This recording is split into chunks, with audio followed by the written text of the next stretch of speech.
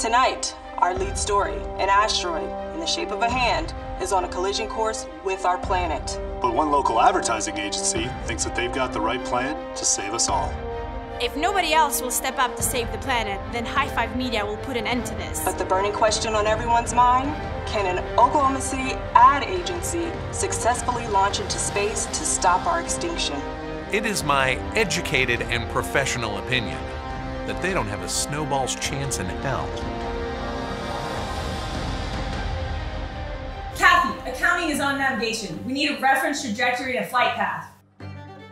The extent of my math skills, I enter it all into QuickBooks and it spits it out for me, so.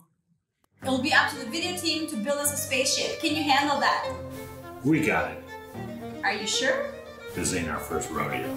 Yeah, our team has built a lot of cool stuff over the years. Our, our green screen work and uh, VFX work is um, the best in the business. Now we just need a pilot. Who would volunteer to fly an untested spaceship prototype following a flight plan calculated by accountants? What about Joel? Perfect. Joel would agree to anything. Yeah. I played a lot of uh, Battlefront 2 as a kid with the joystick and everything, so it couldn't be that different from flying a spaceship. We're go for the final launch checks. Let's do this by the numbers. Orbiter test conductor. Go. Launch processing system conductor. Go. Safety console. Uh, no go, but that's because we didn't build one.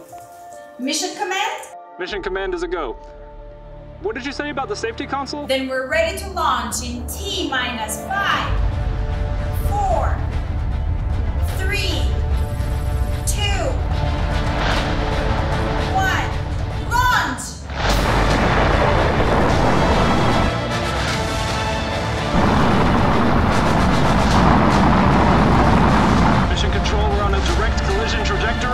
asteroid.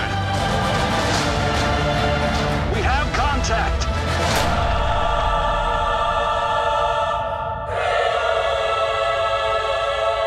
Telemetry? Confirmed! We knocked the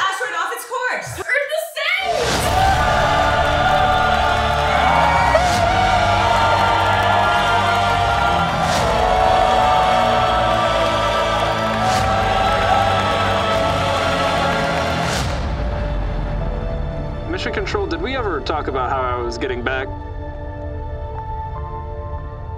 Hello?